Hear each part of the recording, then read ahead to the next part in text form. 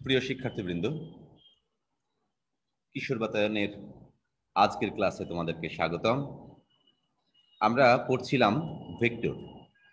ভেক্টরের চারটি ক্লাস করে ফেলেছি তোমাদের সাথে আজকে আমাদের পঞ্চম ক্লাস। তো আসো, আমরা পঞ্চম ক্লাসের লেখাপড়ায় প্রবেশ করি।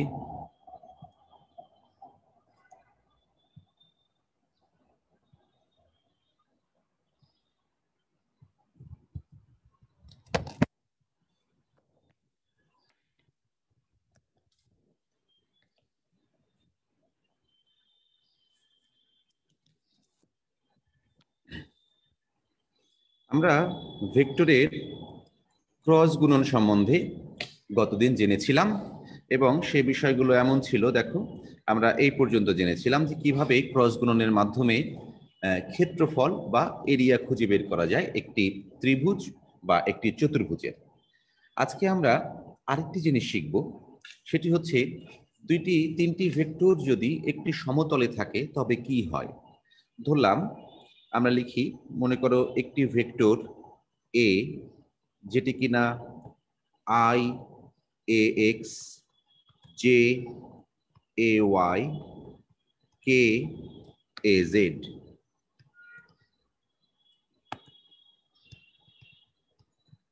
আরেকটি ভেক্টর বি যেটি কিনা I B X J B Y K B Z আরেকটি vector C I C X J C Y K C Z এই এ বি সি আমরা ভেক্টর তিনটাকে মনে করি এমন যে এ ভেক্টর এটা বি ভেক্টর এটা, এবং এখান থেকেই সাপোজ সি ভেক্টর এটা।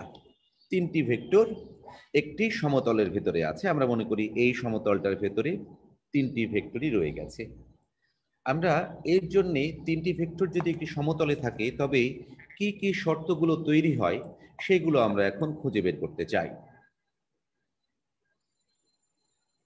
দেখো, এর জন্য প্রথমে আমরা যেটা করি, আমরা B cross B cross C এটি খুঁজে বের করার চেষ্টা করি। এটি হচ্ছে I J K B X B Y bz cx cy cz আমরা a ক্রস b করে ফেললাম। এখান থেকে দেখো, আমরা লিখতে পারি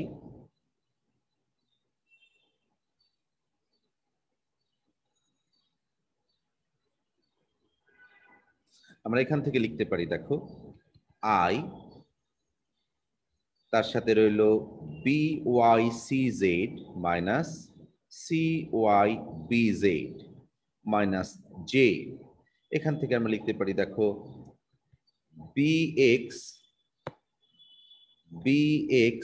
C Z minus Z plus K Y minus Y এটা হচ্ছে আমাদের I cross sorry A cross B cross C এখন এই বি ক্রস সি এই ভেক্টরটার দিক কোনটা হবে? বি ক্রস সি ভেক্টরটা হবে বি এবং সি এই দুইটি ভেক্টরের উপরে লম্ব। এটা এর সাথেও লম্ব, এটা এর সাথেও লম্ব। অর্থাৎ আমরা যে বি ক্রস সি ভেক্টরটা লিখেছি, সেটি এখন আর যে তলটা আমরা আঁকলাম সাপোজ এই তলের নাম দিলাম P Q R S P Q R S অবশ্যই B cross C P Q R S যে তল, সেই তলের ভিতরে নেই। সেই তলের উপরে পারপেন্ডিকুলার বা লম্ব হয়ে গেছে। সেই তলের উপরে লম্ব ভাবে দাঁড়িয়ে গেছে। সেটি বি ক্রস সি তলের মধ্যে আর নেই। তাহলে এখন যদি আমি এই বি ক্রস সি এর সাথে এ কে গুণ করি A cross B cross C sorry A কে যদি আমরা ডট গুণন করি ক্রস গুণন নয়। A dot B cross C যদি আমরা করি, তাহলে এখান থেকে কি পেয়ে যাওয়ার কথা?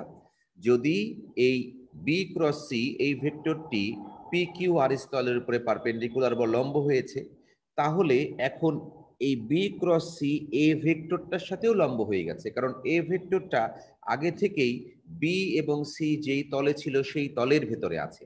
আবার আমি বুঝিয়ে বলছি। আমরা প্রথম থেকে বলছি, দেখো এ বি সি তিনটি ভেক্টরই একটি তলে ছিল। এ বি সি তিনটি ভেক্টর একটি তলে ছিল। সেই তলে নাম আমরা দিয়েছি পি কিউ আর এস এখন যে কারণে হোক, আমরা প্রথমে বি ক্রস সি করেছি। বি ক্রস সি করার পরে আমরা যে ভেক্টরটি পেয়েছি, সেই ভেক্টরটি অবশ্যই বি এবং সি উভয় ভেক্টরের উপরে লম্ব হয়েছে। আমরা যে ভেক্টরটা পেয়েছি, সেটা বি এবং সি উভয় ভেক্টরের উপরে লম্ব হয়েছে। এখন দেখো, যেহেতু বি এবং সি উভয় ভেক্টরের উপরে লম্ব হয়েছে এবং এই ভেক্টরটা আগের থেকেই ওই বি বি এবং সি যেই তলে ছিল, সেই তলের ভেতরেই আছে, যেহেতু বি ক্রস সি আগের থেকে এ ভেক্টরটা আগের থেকেই বি সি যেই তলে ছিল, সেই তলের উপরেই আছে। সুতরাং আমরা এখান থেকে বলতে পারি বি ক্রস সি ভেক্টরটা এখন এ ভেক্টরের উপরে লম্ব অবস্থায় আছে। বি ক্রস সি ভেক্টরটা এখন এ ভেক্টরের উপরে লম্ব অবস্থায় আছে। অর্থাৎ A dot B cross C করলে আমরা পেয়ে যাব জিরো কারণ আমরা জানি, দুইটা ভেক্টর যদি লম্ব হয় বা পারপেন্ডিকুলার হয়, তবে তাদের ডট গুণফল জিরো হয়। সেই শর্তে আমরা বলতে পারছি A dot B cross C এটা জিরো এর সমান। আচ্ছা দেখো আমি এখন এটাকে গুছিয়ে লিখি। এ ভেক্টর মানে হচ্ছে I A X plus J A Y plus K A Z এর সাথে ডট গুণন করে দিচ্ছি যে ভেক্টরটা সেটা হচ্ছে I B Y C Z minus C Y B Z minus J bx cz minus cx bz plus K cy cy এটা হবে cx আমি তাহলে এখানে ভুল করেছি, দেখো। এটা হবে আমরা যখন কে নিচ্ছি, তখন bx bx cy cx by তাহলে এখানে আমরা লিখতে পারছি bx cy minus cx by আমরা এইটার ডট গুণটা শূন্যের সমান হবে। এখন দেখো, আমরা এখান থেকে বলতে পারি, যদি এইবার আমরা ডট গুণ করে দিই, তাহলে লিখতে পারি, দেখো এ এক্স আই এবং আই মিলে ওয়ান হয়ে গেল। এই ডট গুণ আমরা আগের চ্যাপ্টারে শিখে ফেলেছি। B Y C Z minus C Y B Z এরপরে লিখতে পারি এ ওয়াই যখন আমরা এ ওয়াই লিখছি, এই মাঝখানটায় মাইনাস এ ওয়াই এখান থেকে লিখতে পারছি আমরা bx cz minus cx bz এরপর আমরা লিখতে পারছি k ডট k মানে 1 এখান থেকে রয়ে যাচ্ছে az এখান থেকে লিখতে পারছি bx cy minus cx by সমান সমান 0 এখন এইটাকে যদি আমরা একটি ম্যাট্রিক্স আকারে ডিটারমিনেন্ট আকারে সাজিয়ে লিখি, তবে লিখতে পারি ax ay az bx by bz cx c y CZ সমান জিরো এখান থেকে তাহলে আমরা একটি থিওরি তৈরি করে ফেলতে পারি।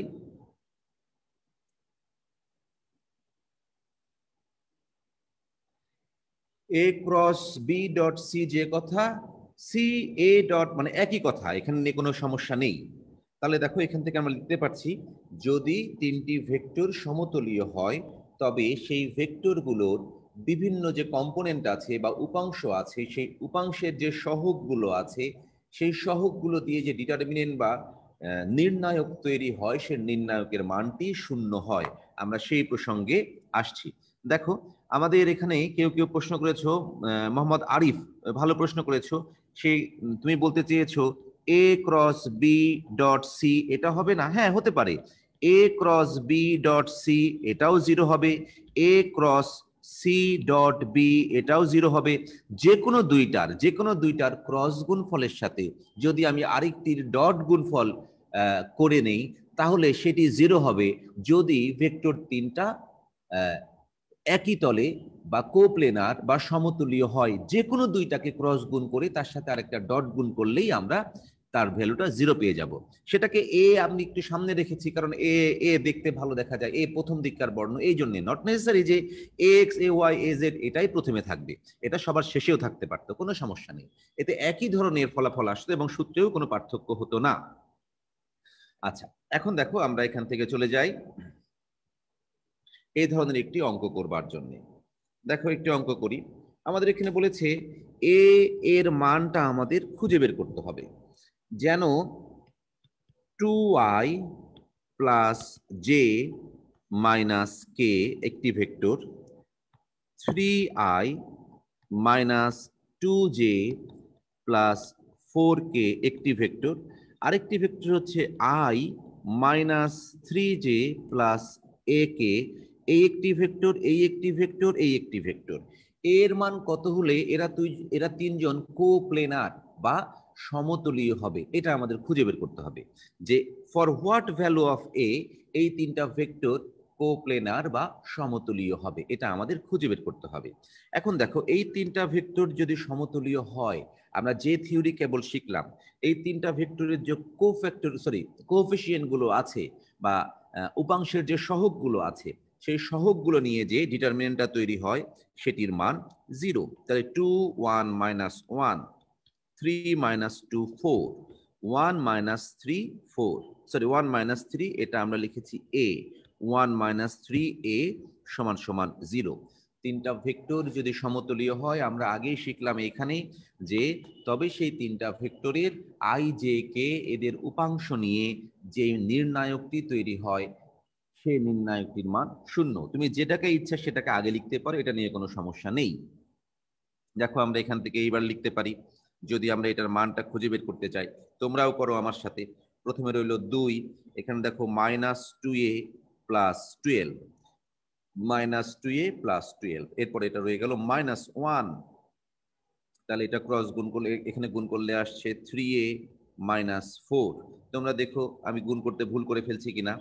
মাইনাস ওয়ান তাহলে মাইনাস নাইন প্লাস টু সমান সমান জিরো আবার আমরা একটু চেক করে দেখি। দুই লিখলাম, তাহলে মাইনাস টু এ মাইনাস মাইনাসে প্লাস টুয়েলভ ওয়ান লিখলাম মাইনাস ওয়ান তাহলে এখানে রইল থ্রি এ মাইনাস ফোর এবার লিখলাম মাইনাস ওয়ান এটা রয়ে গেল মাইনাস নাইন মাইনাস মাইনাসে প্লাস টু এখন আমরা এখান থেকে লিখতে পারছি, দেখো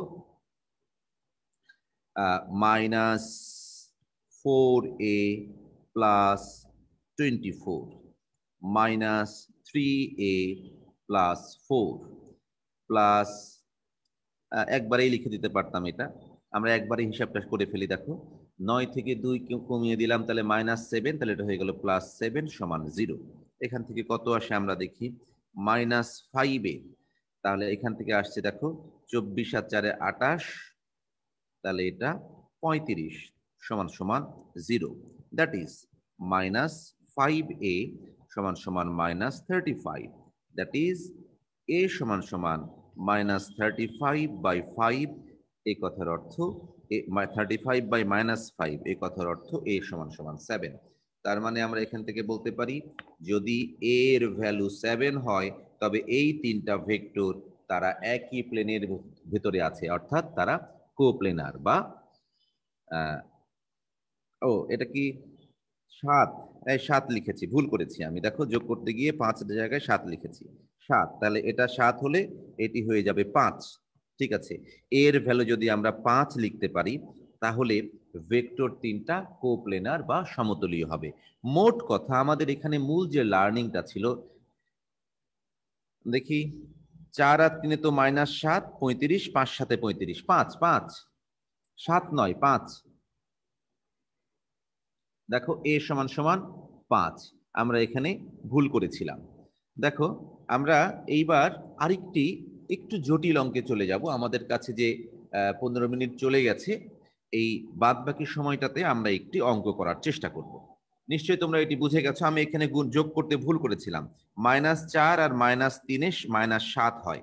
আমি এটা ভুল করেছিলাম, তাহলে এ সমান সমান মাইনাস ফাইভ হবে। নিশ্চয়ই তোমরা এটা এখন ঠিক করে ফেলেছো। যোগ বিয়োগে বড় ভেজাল হয়ে গেছে। এখন আসো, আমরা একটি একটি গুরুত্বপূর্ণ একটি অঙ্ক করব। এই অঙ্কটা হচ্ছে, দেখো, আমাদের একটি একক ভেক্টর খুঁজে বের করতে হবে। একক ভেক্টর, তোমরা একটু মনোযোগ দেবে। আমাদের একটি একক ভেক্টর খুঁজে বের করতে হবে। যে একক ভেক্টরটা, এটা হলো আই, জে, কে, আরেকটি ভেক্টর হচ্ছে বি সমান I minus J minus K. আমাদের একটি একক ভেক্টর খুঁজে বের করতে হবে। যে একক ভেক্টরটা এ এবং বি এই দুইটি ভেক্টরের উপরে লম্ব সরি এই দুইটি ভেক্টরের সমতলীয় এবং শুধুমাত্র এ ভেক্টরের উপরে লম্ব। তাহলে আমি একটু এঁকে বোঝাই। এটা মনে করলাম ভেক্টর এ এটা মনে করলাম ভেক্টর বি আমাদের যে ভেক্টরটা খুঁজে বের করতে হবে, সেটি এই ধরনের ভেক্টর হবে। সেটি হবে এ ভেক্টরের উপরে লম্ব, কিন্তু তারা এই পি কিউ আর এস এই তলের ভেতরেই আছে। এই যে এই ভেক্টরটার নাম দিলাম আমরা সি এই সি এর একক ভেক্টর খুঁজে বের করতে হবে। এইটা হচ্ছে আমাদের এখানকার এবারের কাজ। আবার বলছি, অঙ্কটা হচ্ছে এ ও বি এর সমতলীয় এবং এ এর লম্ব একক। এমন একটা ভেক্টর আমাদের খুঁজে বের করতে হবে, যেন সেটা এ বি এর সমতলীয় এবং এর লম্ব একক ভেক্টর। আমাদের এই ভেক্টরটা খুঁজে বের করতে হবে। আবার বলছি, একটা একক ভেক্টর খুঁজে বের করতে হবে, যেটা কিনা এ বি এর সমতলীয় এবং এ ভেক্টরের উপরে লম্ব। এটা খুঁজে বের করার জন্য আমরা একটু থিওরি দেখে আসব।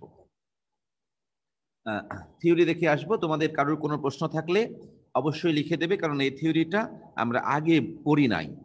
ধরলাম এই ভেক্টরটি হচ্ছে পি এবং এই ভেক্টরটি হলো কিউ তাহলে পি যোগ কিউ এটা আমরা কি পেলাম? আমরা এটা পেলাম, এইটা সামান্তরিক পূর্ণ করে ফেললে এইখান দিয়ে যদি আমরা একটি ভেক্টরকে আঁকি, তাহলে এই ভেক্টরটি হচ্ছে পি প্লাস কিউ এখন আমি একটা কাজ করি। এই কাজটি করার জন্যে আমি পি ভেক্টরকে একটা স্কেলার দিয়ে গুণ করে দেই। এবং তার সাথে যদি পি ভেক্টরকে স্কেলার দিয়ে গুণ করলাম, তার সাথে কেবল কিউ রাখলাম, তবে কি ঘটনা ঘটলো? দেখো স্কেলার মিউ হচ্ছে এখানে একটি স্কেলার এর মান এক, দুই, তিন, চার মাইনাস এক, দুই, তিন, চার, ভগ্নাংশ, পূর্ণ সংখ্যা, যা ইচ্ছা তাই হতে পারে। এই ধরনের যে কোনো সংখ্যাই হতে পারে হচ্ছে মিউ এর মান। এখন দেখো পি কে আমি মিউ দিয়ে গুণ করেছি, তাহলে ধরলাম পি কমে গেছে, তাহলে পি কমে এখন এইখানে চলে এসেছে, তাহলে এখন আমাদের নতুন যে আর সেটি এখন এইটা হয়েছে, ধরলাম পি অনেক বড় হয়ে গেছে, তাহলে এটা আমরা এখন এইটা পূর্ণ করে ফেলি, দেখো, তাহলে আমাদের নতুন যে আর সেটি এখন এইটা হয়েছে, এটা নতুন আর এটা নতুন আর আমরা মনে করলাম যে পি এর ভ্যালু আমরা মাইনাস করে ফেলেছি তার মানে নেগেটিভ দিকে চলে এসেছে। এইটা এসেছে এখন মাইনাস পি তাহলে এখন পি এর ভ্যালু এই যে আর এর ভ্যালু পি প্লাস এই যে এইটা, আমরা নতুন আর লিখলাম সাপোজ আর ওয়ান তাহলে আর ওয়ানের চেহারা কি হতে পারে? আর ওয়ানের চেহারা এখন এটাও হয়ে যেতে পারে। এই কথার অর্থ, এই যে আমরা পি ভেক্টরটা যেটা লিখেছি, এই পি ভেক্টর এখানে কিউ ভেক্টর রয়ে গেছে, তার মানে এইটুকু জায়গার ভেতরে, এইটুকু জায়গার ভেতরে এই P mu P plus Q তা যে কোনো ভেক্টর হয়ে যেতে পারে। যে কোনো ভেক্টরকে প্রকাশ করতে পারে, যে কোনো ভেক্টরকে প্রকাশ করতে পারে এনি ভেক্টর হতে পারে। যদি আমরা পি কে একটি স্কেলার দিয়ে গুণ করি, যদি আমরা পি কে যে কোনো স্কেলার দিয়ে গুণ করি, তবে এই যে পি এর উপরে পি এর নিচে নয় পি এর উপরে এবং কিউ এর লেন্থের ভেতরে মানে এইটুক জায়গার ভেতরে, অভিক্ষেপের সমান যে উচ্চতা, উচ্চতার, উচ্চতা পর্যন্ত যে কোনো ভেক্টরকে আমরা তখন বলতে পারি মিউ পি প্লাস কিউ এখন আমরা করলাম কি? পি কে তো আমরা মিউ দিয়ে গুণ করেছি, এবার কিউ কে ল্যামডা দিয়ে গুণ করব। তবে কি ঘটনা ঘটে? এখন দেখো পি নিজেও চেঞ্জ হয়ে যাচ্ছে কিউ এ চেঞ্জ হয়ে যাচ্ছে যে কোনো জায়গায় চলে যেতে পারে। কিউ যে কোনো জায়গায় চলে যেতে পারে পিও যে কোনো জায়গায় চলে যেতে পারে।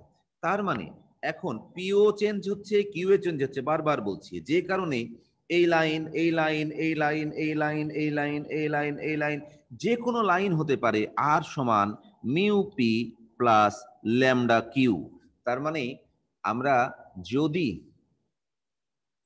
যদি আমরা আর কে এমন হতে পারে পি কে একটা স্কেলার দিয়ে গুণ করি কিউ কে আরেকটা স্কেলার দিয়ে গুণ করি মিউ এবং ল্যামডা এরা দুজন স্কেলার তাহলে দেখো এই এই যে পি কিউ যেই তলের মধ্যে আছে, এই পুরো তলটি ডিফাইন্ড হয়ে যায় আর নামক ভেক্টর দ্বারা। পুরা তলটি ডিফাইন হয়ে যায় আর নামক ভেক্টর দ্বারা। তাহলে আর ভেক্টর দিয়ে কি ডিফাইন হয়ে যায়? আবার বলছি আর ভেক্টর দিয়ে ডিফাইন্ড হয়ে যায় পুরা তলটা। তার মানে এ যদি একটা ভেক্টর হয়, আমি আবার লিখছি এ যদি একটা ভেক্টর হয়, আবার বি যদি একটা ভেক্টর হয়, তাহলে এ বি সমতল এ বি সমতল।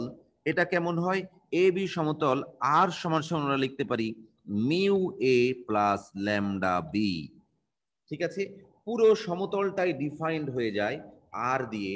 যদি আমরা একটা ভেক্টরকে ল্যামডা দিয়ে গুণ করি আর একটা ভেক্টরকে মিউ দিয়ে গুণ করি। অর্থাৎ দুইটা ভেক্টরকে দুইটা স্কেলার দিয়ে গুণ করে আমরা যুক্ত করে ফেললে তখন এই পি এ এবং বি যে সমতলে ছিল, সেই পুরো সমতলটি এই আর দ্বারা ডিফাইন্ড হয়ে যায়।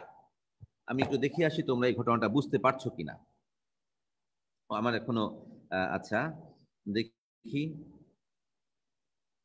হুমায়রা আঞ্জুম মাইশা, আসসালামু আলাইকুম, ওয়ালাইকুম আসসালাম, কেমন আছেন স্যার? ভালো আছি। ফেরদৌস আক্তার স্যার, আবার বলেন প্লিজ হ্যাঁ আবার বলেছি, ইতিমধ্যে বলে ফেলেছি, আবার বলব প্রয়োজনে। আচ্ছা এরপরে অনেকেই, আলো ইসলাম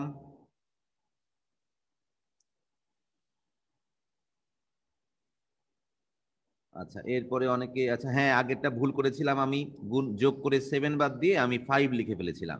ওটা তোমরা ঠিকই ধরতে পেরেছ, তোমাদেরকে ধন্যবাদ। আমিও আমি যোগে ভুল করে ফেলেছিলাম। অনেকে ওয়ালাইকুম আসসালাম, অনেকেই লক্ষ্মীপুর গভর্নমেন্ট কলেজ থেকে অনেকে বলছো, রাজশাহী ক্যান্টনমেন্ট কলেজ থেকে অনেকে বলছে, সবাইকে অনেক অনেক অনেক শুভেচ্ছা। আসো, আমরা আবার লেখাপড়ায় ফেরত যাই। দেখো, তাহলে আমরা এখান থেকে আবার বলি যে দুইটি ভেক্টর যেই সমতলে আছে, সেই সমতলটিকে যদি আমরা সংজ্ঞায়িত করতে চাই, তবে ভেক্টর দুইটিকে দুইটি আলাদা আলাদা স্কেলার দিয়ে গুণ করে যদি যুক্ত করে দেই, তবে পুরো সমতলটি সংজ্ঞায়িত হয়ে যায়। এখন আমরা চলে আসি, আমরা যে অঙ্ক করছিলাম, সেই অঙ্কে এ সমান সমান ছিল I plus J plus K B সমান সমান ছিল I minus J minus K আমাদের এখান থেকে দেখো খুঁজে বের করতে হবে যে এ বি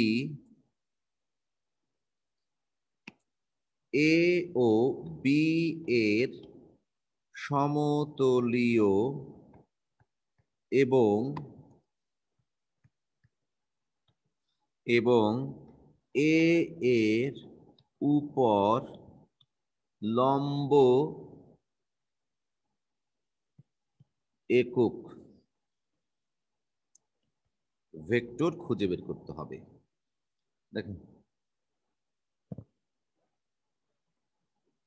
দেখো।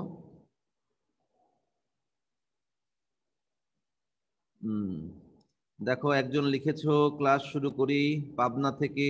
কিন্তু তোমার নাম তো তুমি লিখনি। তুমি লিখেছো, পড়ে থাকা নীলখাম এটা কেমন নাম? সেলিম খান, স্যার, আমি আজ কিশোর বাংলা ম্যাগাজিনের বর্ষসেরা লেখক নির্বাচিত হয়েছি। কংগ্রেচুলেশন তোমাকে। স্যার আচ্ছা অলিন নূর পাপিয়া, স্যার আর একটু বুঝান। হ্যাঁ অবশ্যই বোঝাচ্ছি। দেখো, এই অঙ্কটা করতে করতে আমরা বুঝে যাব।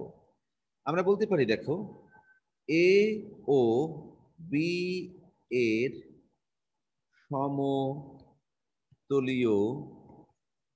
যে কোনো ভেক্টর। সমতলীয় যে কোনো ভেক্টর মানে হচ্ছে এ ভেক্টরকে মিউ দিয়ে গুণ করব, বি ভেক্টরকে ল্যামডা দিয়ে গুণ করব। বি ভেক্টরকে ল্যামডা দিয়ে গুণ করব। তোমরা অন্য কোনো সিম্বলও ব্যবহার করতে পারো, সমস্যা নাই। মনে করলাম এই ভেক্টরের নাম দিলাম সি।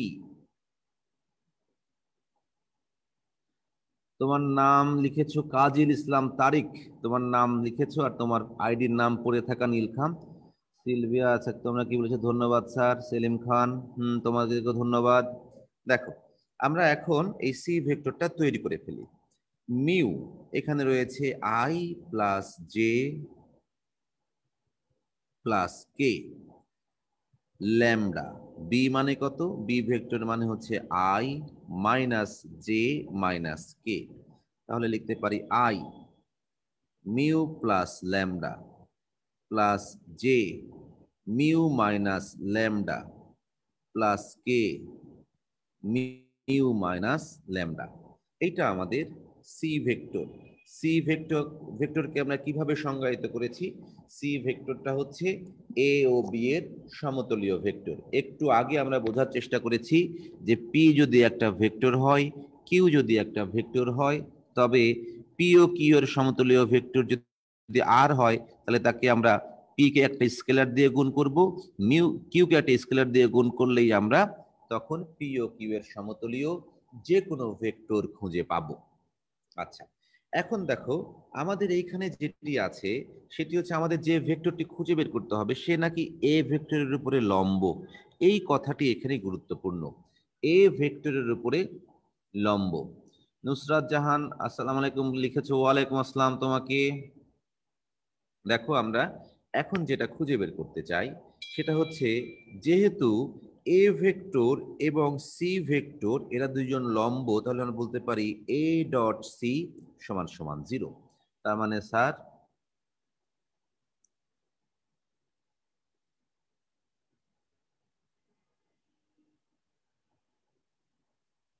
আচ্ছা এটা তো আমি আগেই বুঝেছি। মিউ ল্যামডা দ্বারা কেন গুণ করবে? এই যে একটু আগে যখন চিত্র বুঝিয়েছি, তখন বুঝিয়েছি যে পি ভেক্টর এটা কিউ ভেক্টর এটা দুইটা ভেক্টরকে চেনার চেষ্টা করো।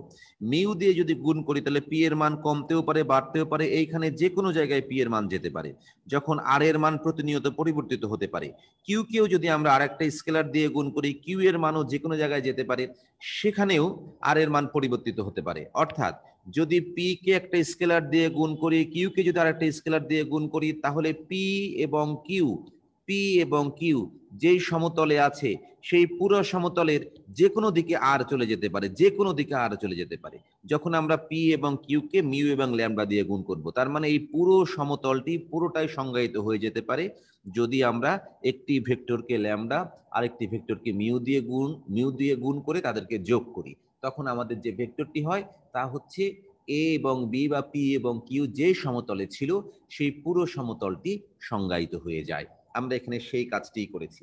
দেখো, এখানে আর ভেক্টর দিয়ে গুণ করার দরুন, এই যে পি ভেক্টরকে মিউ দিয়ে গুণ করেছি কিউ কে ল্যামডা দিয়ে গুণ করেছি, এর জন্য যেটা হয়েছে যে পি এবং কিউ যেই সমতলে আছে, সেই পুরো সমতলটি সংজ্ঞায়িত হয়ে যায়। এই জন্য আমরা বলেছি এ ও বি এর সমতলে যে কোনো ভেক্টর আমরা নিয়েছি সি যেটা কীভাবে সংজ্ঞায়িত হয়ে যায়?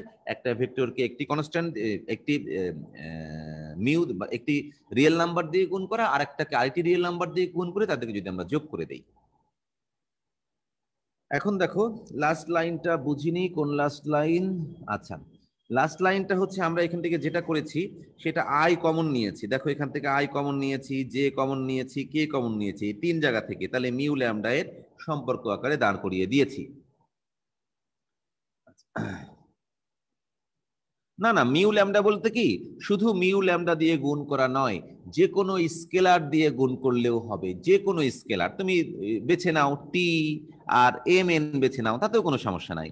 এম এন বেছে নাও, যারা কিনা রিয়েল নাম্বার সহজ কথা।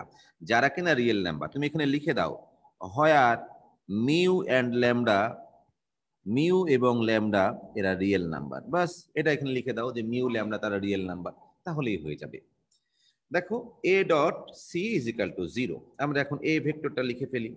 এ ভেক্টর মানে হচ্ছে I plus J plus K R C ভেক্টরটা হচ্ছে আমরা এখান থেকে থার্ড ব্যাকেট দিয়ে লিখে রাখি সেকেন্ড ব্যাকেট দিয়ে লিখি।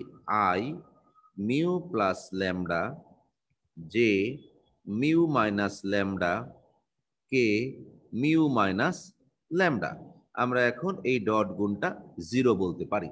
দেখো আমরা এখান থেকে বলতে পারি আই আই এটা আই রয়ে গেল মিউ প্লাস ল্যামডা এরপরে রয়ে গেল মিউ মাইনাস ল্যামডা এরপরে রয়ে গেল মিউ মাইনাস ল্যামডা সমান জিরো তাহলে ল্যামডা ল্যামডা কেটে দিলাম, তাহলে পরে রইল থ্রি মিউ মাইনাস ল্যামডা সমান জিরো এখন এখান থেকে আমরা বলতে পারি ল্যামডা সমান সমান থ্রি মিউ তাহলে আমরা এখানে যে সি তৈরি করেছিলাম, আমি পাশটা একটু মুছে দেই আবার। এখানে আমরা যে সি তৈরি করেছিলাম সি ধরো এইটার নাম দেই এক। তাহলে আমরা বলতে পারি ল্যামডা এর মান এক এ বসাই। ল্যামডা এর মান তুমি একে বসিয়ে দাও। তাহলে লিখতে পারে দেখো সি ভেক্টরটি সমান সমান আই ল্যামডা মানে হচ্ছে থ্রি মিউ, তাহলে মিউ প্লাস থ্রি মিউ। এটা লিখতে পারি J mu minus three mu এটা লিখতে পারি k mu minus three mu বাস। এখন দেখো, আমরা এটাকে একটু ছোট করে ফেলি। তাহলে লিখতে পারি আই এখানে রইল ফোর মিউ এখানে রইল মাইনাস জে টু মিউ আর এখানে রইল মাইনাস কে দেখো আমি ভুল করেছি কিনা, গুণ, যোগ বিয়োগ করতে। থিওরি আমাদের ঠিক আছে। তাহলে দুই, চার, চারে আট আট, আর চার, চারে ষোলো। আট আর ষোলো, তাহলে দুগুণে চার। তাহলে আমি আবার দেখি, তিন আর একে চার মিউ, এখানে রইল মাইনাস দুই মিউ, এখানে রইল দুই মিউ। আচ্ছা হয়েছে।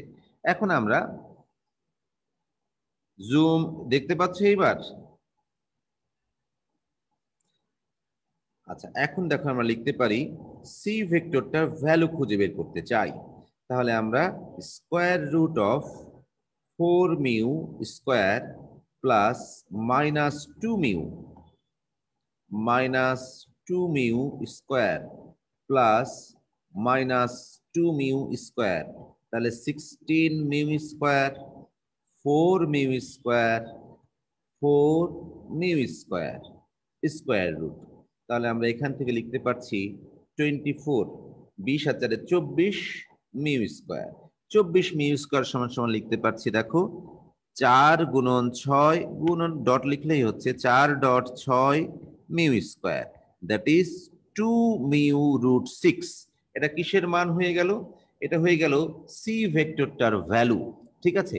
সি ভেক্টরটার ভ্যালু এখন আমাদের খুঁজে বের করতে হবে কিন্তু একক ভেক্টর সিটা কত? একক ভেক্টর সি মানে হচ্ছে সি ভেক্টরকে তার ভ্যালু দিয়ে ভাগ করতে হবে। তাহলে সি ভেক্টরটা কত? এখানে একক ভেক্টর হলে তোমরা প্লাস মাইনাস লিখতে পারো, কারণ কোন দিকে তা তো আমরা জানি না। আমরা বলতে পারি না যে পজিটিভ দিকে না নেগেটিভ দিকে। এই জন্য অনেক সময় প্লাস মাইনাস লিখে রাখতে পারো।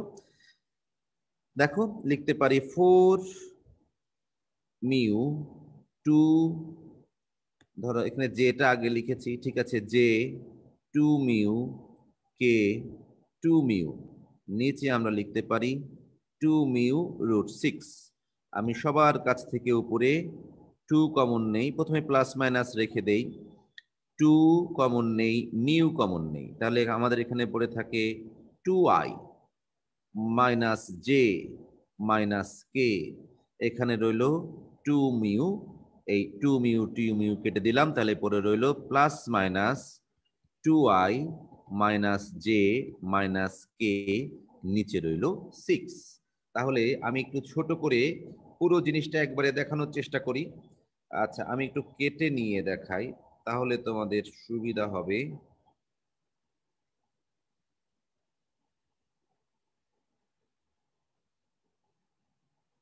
পাশাপাশি রেখে দেখাই, তাহলে হয়তো বা তোমরা একটু ভালো বুঝবে। দেখো, আমি একটু আবার বোঝানোর চেষ্টা করি। আমাদের কাছে একটি ভেক্টর দেওয়া ছিল এ একটি ভেক্টর দেওয়া ছিল বি এবং তারা একই সমতলে ছিল। দুইটা ভেক্টর তো সবসময় একটি সমতলে থাকবেই। আমাদের বলেছে এমন একটা ভেক্টর খুঁজে বের করতে হবে, যেটা এই এই যে সমতলটা আমি বক্স করে বোঝানোর চেষ্টা করলাম, এই সমতলের ভেতরেই আছে এবং এর উপরে পারপেন্ডিকুলার এইটা ছিল সি এইটা সি ক্যাপ যে কোনো দিকে যেতে পারে, এই জন্য প্লাস মাইনাস দিয়ে রেখেছি। এই হচ্ছে আমাদের, এইটা লম্ব কিন্তু এর উপরে লম্ব বি এর উপরে লম্ব কিনা তা নিয়ে আমাদের কোনো মাথা ব্যথা নেই। এইটাই হচ্ছে আমাদের সেই অঙ্কটা। এই অঙ্কটা বেশ একটু নতুন ধরনের অঙ্ক তোমাদের জন্য। যে দুইটি ভেক্টর যেই সমতল সমতলে আছে, আমাদের সেই সমতলেরই একটি ভেক্টর খুঁজে বের করতে হবে, যা কিনা আগের দুইটির সাথে একই সমতলীয় এবং যে কোনো একটির উপরে লম্ব আমরা ধরে নিয়েছি এ ভেক্টরের উপরে লম্ব। তাহলে এটা আমরা কি কি করেছি? একবার রিভিউ করি। পুরোটা রিভিউ করে তোমাদের জন্য, যারা বুঝেছ, তারা আর একবার একটু বুঝে নাও। দেখো এ এবং বি যেই সমতলে আছে, সেই সমতলীয় ভেক্টর, যে কোনো সমতলীয় ভেক্টর মানে হচ্ছে ওই ভেক্টর দুইটাকে দুইটা স্কেলার দিয়ে গুণ করে তাদেরকে সরাসরি যোগ করলেই যে ভেক্টরটি পাওয়া যায়, সেই ভেক্টরটি এ বি যেই সমতলে আছে, ওই সমতলেই থাকে। তার মানে সিটা সি নামক যে ভেক্টরটা পেলাম, সেটা এ বি যেই সমতলে আছে, সেই সমতলেই রয়েছে। এখন সি ভেক্টরটাকে আমি একটু গুছিয়ে লিখলাম। এভাবে লিখলাম যে আই সামনে যে মানে কমন নিয়ে গুছিয়ে লিখলাম। এখন ওরা আমাদের আরেকটা শর্ত দিয়েছিল যে যে নতুন ভেক্টরটা হবে সেটা যেন এর উপরে পারপেন্ডিকুলার হয়। তাহলে নতুন ভেক্টর আমরা নিয়েছি সি সে যদি এর উপরে পারপেন্ডিকুলার হয়, তাহলে আমরা বলতে পারি এ ডট সি এদের ডট গুণটা জিরো হবে, তাহলে এ ডট সি সমান সমান জিরো হয়ে গেল। সেইখান থেকে আমরা এই দুটা ডট গুণন করলাম। ডট গুণন করে ল্যামডা এবং মিউ দুইটা আননোন ছিল আমাদের কাছে। এই দুইটা আননোনের ভ্যালুর মধ্যে আমরা রিলেশন তৈরি করলাম। সেই ভ্যালুটা আমরা আবার সি এর ভেতরে বসিয়ে দিলাম, আমরা তখন সি ভেক্টরটা পেয়ে গেলাম। সি ভেক্টরটা যখন পেলাম, এর মধ্যে কিন্তু এখনও আন্দোলন রয়েছে মিউ নামক একটি আন্দোলন রয়ে গেছে। আমাদের কাজ কিন্তু ভেক্টরটি খুঁজে বের করা নয়, আমাদের কাজ ছিল একক ভেক্টরটি খুঁজে বের করা। এই একক ভেক্টর খুঁজতে হলে আমাদের ভ্যালুটা জানা লাগে, এই জন্য সি ভেক্টরটার ভ্যালু খুঁজে বের করলাম, যার মধ্যে মিউ নামক আননোনটা এখনও রয়ে গেছে। এখন সি ভেক্টরকে যে সি ভেক্টরটা আমরা বের করেছিলাম, তাকে সি এর ভ্যালু দিয়ে ভাগ দিয়ে দিলাম প্লাস মাইনাস লিখেছি কেন? কারণ এই ভেক্টরটার দিক কোনটা এক ভেক্টরের দিক কোনটা সেটা আমাদের কাছে পরিষ্কার ছিল না। এই জন্য আমরা প্লাস মাইনাস লিখেছি। আমরা এখন সি কে সি এর ভ্যালু দিয়ে ভাগ দিলে মিউ কাটাকাটি চলে গেল, আমাদের যেটা পড়ে থাকল সেটাই হয়ে গেল ডিজায়ার রেজাল্ট মানে যে রেজাল্ট আমরা খুঁজে বের করতে চাইছি। এটি হচ্ছে আমাদের সেই এবং বি এই দুইটি ভেক্টরের উপরে, এই দুইটি ভেক্টরের সাথে সমতলীয় এবং এ ভেক্টরের উপরে পারপেন্ডিকুলার। আমাদের সময় প্রায় শেষ, আর এক দুই মিনিট আছে। নতুন অঙ্ক শুরু করলেও আমরা শেষ করতে পারব না। দেখি তোমরা বুঝেছ কিনা, তোমাদের একটু কমেন্ট করে দেখি। আচ্ছা। ধন্যবাদ কি? তোমরা তোমাদের আচ্ছা। তুমি সেলিম খান, তোমাকে বলেছি মেসেঞ্জারে নক করো, আমাকে খুঁজে মেসেঞ্জারে নক করলেই পারবা। আচ্ছা এরপরে নুসরাত জাহান আসলাম আগে তো বলেছি, আব্দুল জলিল, মিউ ও ল্যামডা দ্বারা কেন গুণ করব? সেটা তো আগেই বলেছি, মিউ ল্যামডা দ্বারা গুণ করবে কারণ মিউ এবং ল্যামডা দিয়ে গুণ করার অর্থ পুরো তলটাকে সংজ্ঞায়িত করা। আচ্ছা স্যার আবার একটু বলবেন এতক্ষণে নিশ্চয়ই বুঝেছ, স্যার, শুধু মিউ ল্যামডা দিয়ে কি গুণ করতে হবে? না, যে কোনো যে কোনো স্কেলার দিয়ে গুণ করলেই হবে, মিউ ল্যামডা দিয়ে গুণ করতে হবে, এর নিশ্চয়তা নেই। যে কোনো স্কেলার দিয়ে গুণ, ওই যে স্বপ্নের রাজকুমার, সে বলে দিয়েছে, তুমি যে কোনো সংখ্যা দিয়ে গুণ করতে হবে, যে কোনো সংখ্যা দিয়ে গুণ করতে হবে। তোমাদের নাম দিয়ে কেন আসো না? স্যার, আর একটু জুম করবেন প্লিজ সে তো একটু আগেই করেছিলাম। স্যার, ঠিক আছে, বুঝেছি বুঝেছি বুঝেছি বুঝেছি বুঝেছি, ধন্যবাদ তোমাদেরকে।